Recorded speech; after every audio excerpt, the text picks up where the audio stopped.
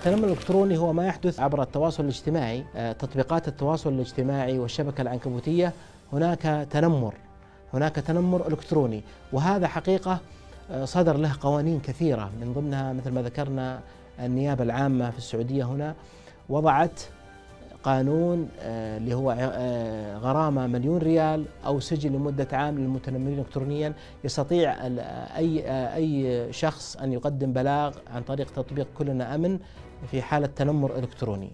حقيقة وهذه تشكر حقيقة عليها وزارة الداخلية.